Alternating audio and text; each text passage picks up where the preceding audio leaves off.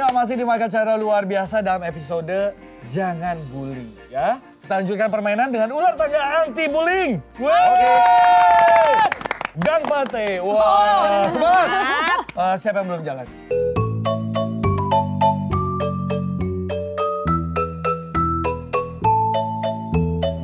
Iya, iya, iya. Aku bantu ambilin Oke, dadunya ya. Terima kasih. Nah, ini dia nih. Aku mau lempar. Par, go. Dapat Wow. Oh, dapat? Banyak ya. Luar biasa keberuntungannya. Sangat luar biasa. Yes, oke. Silakan. Oke. Pandaku tolong. Hitung ya. Ya, Ya, satu, satu, dua, tiga, tiga, oke, empat, lima, lima, enam. Wah, dapat apa nih? Ini ada kata-katanya nih, dampak buruk bagi korban bully. Jadi bisa murung, menyendiri, stres, bahkan fatalnya bisa mengakhiri hidup Iya. gitu ya. Serem banget ya, berarti kita emang bener-bener nggak boleh membuli. Betul. Ini kita tanya ke Kareti gitu. Iya, aku dampaknya- juga penasaran nih, Iya. karena ini kan sebagai korban bully. Nah, ini kadang anak tuh jadi sumber membuli, trigger gitu untuk anak-anak yang lain. Apalagi sekarang ada peer pressure. Mereka bergrup, mereka kalau misalnya satu nggak Hmm. ngebully, nggak dianggap temen. Nah, itu Ya, gimana ya, tuh ya. kak? Ini memang di usia anak dan remaja apalagi mulai-mulai usia 10 sampai 11 itu mulai masuk namanya usia peer group, masuk usia ngegeng itu normal wajar. Dan usia peer itu punya konsekuensi adanya peer pressure, tekanan dari Ya. teman sebaya. Peer pressure itu nggak selamanya negatif. Ada yang positif, wah temennya semua masuk klub basket. Kita ikut yuk masuk klub basket Oh, gitu ya. iya, iya. Jadi malah ada aktivitas positif Ya. gitu. Tapi ada juga negatif peer pressure. Hmm. Nah negatif peer pressure ini yang tadi Kanina bilang nih, kalau misalnya nggak di, nggak ngebully satu anak dia nggak dianggap jadi teman gengnya. Hmm. Kalau nggak pakai baju model tertentu dia nggak dianggap sama temen gengnya. Hmm. Itu yang disebut dengan negatif peer pressure. Ada caranya supaya anak bisa berani bilang tidak pada peer pressure. Tapi yang perlu disampaikan kepada anak, sampaikan tidak pada peer pressure atau menolak peer pressure harus dengan cara yang asertif.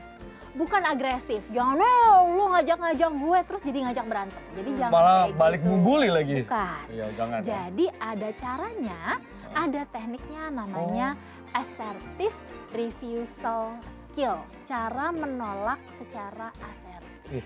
Gitu. Contohnya? Nah, ini contoh untuk menolak peer pressure. Kalau misalnya ada tekniknya. Iya. Tekniknya itu namanya tamakagi. Tama kagi. Kagi ya. Yang pertama, ajarkan anak untuk bertanya. Ta. Oke, ya. Kalau misalnya kamu di peer pressure, eh kalau kamu nggak ikutan ngebully si X, kamu nggak ikut geng kita. Hal pertama yang anak perlu lakukan adalah tanya balik. Jadi maksudnya kita mau ngebully X. Oke. Konfirmasi bener nggak sih Ya. maksudnya itu? Biasanya dengan bertanya aja temennya mulai mikir nih, eh am I doing the right thing Thing, gitu ya, ya. Ta, yang Ma. kedua apa? Ma. Ma. Masalah.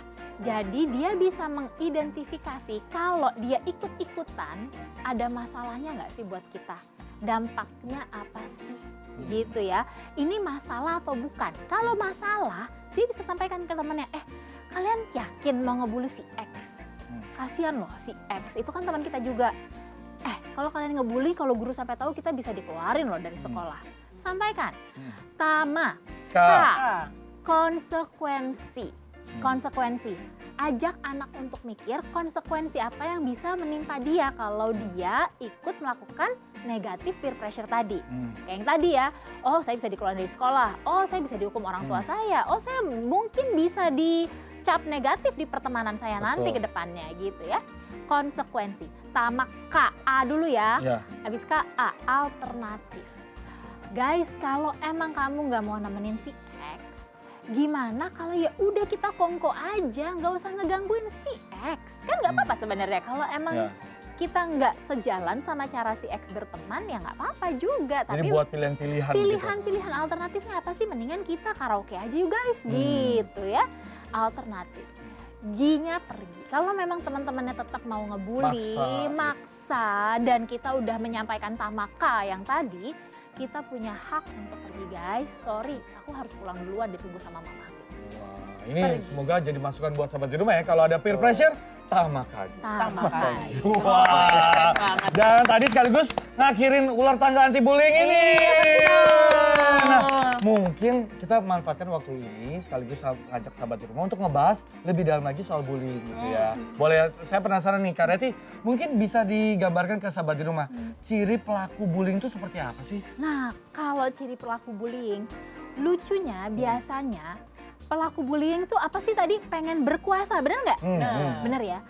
Dia itu sebenarnya punya rasa keberhargaan diri yang rendah Hmm. sehingga dia cari cara untuk bisa menang- meningkatkan self esteemnya, meningkatkan rasa berharganya dengan tadi berkuasa.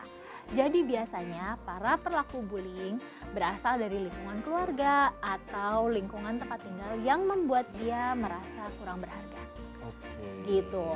Sebenarnya dia butuh bantuan, sebenarnya dia secara rasa keberhargaan diri lagi rendah.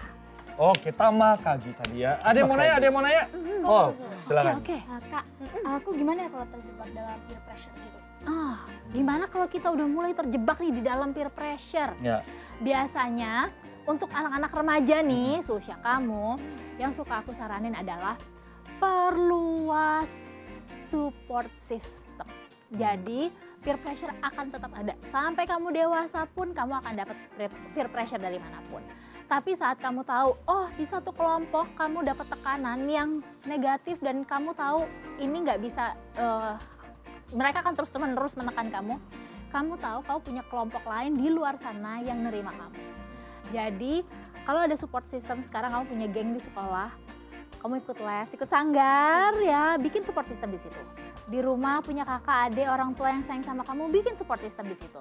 Dan kamu sadar ternyata semakin banyak support system kamu, semakin kamu pinter cari jalan keluar dari peer pressure yang negatif. Oke, oke? Wow. Kak Iki atau Kak Nina ada yang mau ditanyain? Enggak? Aiki mau tanya dong. Mhm. Nah, Kak Iki kan ada anak juga tuh ya. Hmm. Kadang-kadang pulang nangis Hmm, ya, benar-benar. murung ya. Mungkin ya dibully teman-teman itu. Kita seperti apa gitu ya Hmm. ketika melihat anak-anak kita seperti itu.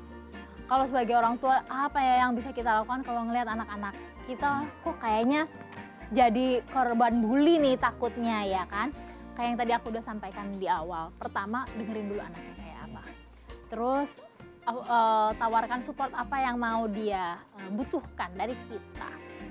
Biasanya kita singkat jadi uh, validasi empati support VES ada lagi. gitu VES ya ada lagi nih tadi pertama kagi ya Sama kan? Kagi? sekarang VS sama eh, pada dasarnya sama. Eh, bisa ajak anaknya ngobrol perasaannya seperti apa diterima kita empati sama dia oh iya rasanya kayak gitu ya nggak enak ya. Support mau beli nasi goreng sama bapak biar kamu lebih happy ha- lagi mau ke minimarket kita cari yang manis-manis gitu ya supaya kamu bisa happy kasih support sesimpel mungkin yang bisa bantu anak menenangkan diri Hmm. gitu Wow, menjawab sekali. Kak Nina nih, kayaknya banyak banget beban nih. Kenapa mau, mau. Iya berarti kita harus cari support system. Nah support system ini kayak nomor 9 nih. Ah. Jadi mengajarkan anak-anak itu jangan takut gitu ya untuk melaporkan. Karena ada orang-orang yang sayang sama mereka seperti Hmm. orang tua, sahabat, juga ada guru. Bahkan kalau sudah terlalu ekstrim jangan ragu laporkan ke polisi. yang- Betul itu, ya kayak. Reti. untuk bisa anak stand up dan report saya jadi korban bully itu butuh keberanian yang luar biasa. Jadi sebagai orang tua kita juga perlu memupuk keberanian anak. Kalau dari kecil anak bilang, Papa aku nggak mau makan mie goreng, aku maunya nasi goreng. Jangan dibilang kamu udah syukur-syukur dikasih nasi goreng malah minta mie goreng gitu misalnya ya. Jangan. Itu adalah latihan anak speak up, stand up for himself, for herself. Jadi untuk bisa anak mencapai titik di mana saat dia jadi korban bully, dia bisa bilang ke orang tua, ke guru, ke teman dan sahabat, kita perlu biasakan keberanian untuk speak up dari dia kecil sebelum dia berhadapan sama bully membuli ini. Gitu. Wow, komprehensif sekali nih penjelasan Kak Reti ini. Nah, by the way, karena kita hari ini mau mengajak sahabat di rumah berkomitmen untuk mengakhiri bullying, ada nggak sih satu slogan yang bisa mengajak kita semua untuk berhenti membuli? Kita bikin bareng-bareng aja. Iya, iya. Oke, Gimana tuh? oke. Kita bikin pakai tangan. Tengah. Oke, bareng-bareng ya. Oke. Kita bilang stop bullying, oke? Oke. Oke. Satu, Oke, dua, tiga. Stop bullying. Waduh, nanti kita ulangin sekali lagi ya, tapi tidak terasa satu jam kita udah menemani sahabat di rumah dengan topik jangan bully. Tadi Kak Iki, Gisel, Kanina dan juga Kak Reti udah bercerita banyak soal anti bullying. Supaya menyadarkan kita bahwa penting buat kita menjaga perasaan orang-orang di sekitar kita. Jangan sampai karena peer pressure kita justru ikut-ikutan bullying. Karena ingat di sana tadi Kak Reti udah sampaikan ada konsekuensinya gitu, bahaya. Dan jagalah tutur kata kita, tindakan kita supaya kita lebih santun dan sopan terhadap orang-orang di sekitar kita. Betul, ya? Mari kita sama-sama katakan sekali lagi. Stop bullying! Wah. Nah, mengakhiri maka cara luar biasa hari ini gimana kalau kita minta Gisel, boleh ya? Menghibur kembali sama di rumah? Oh, siap? Siap, siap, Oke, siap. silakan siap-siap. Kita ke sana yuk. Yuk.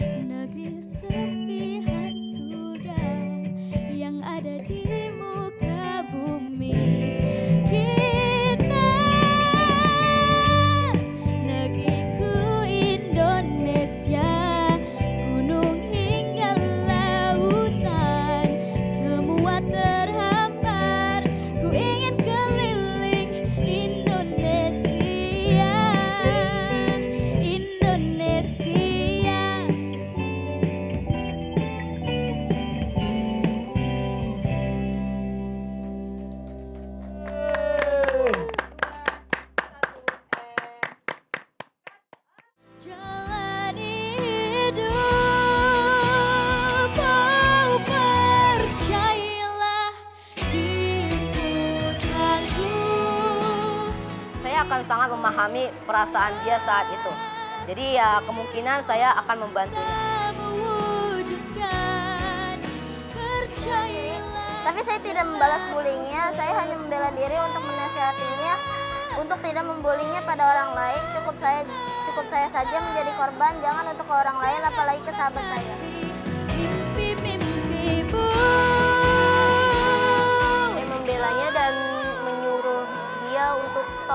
membuli karena itu adalah perbuatan hal yang tidak baik. Dirimu bisa mewujudkan percaya.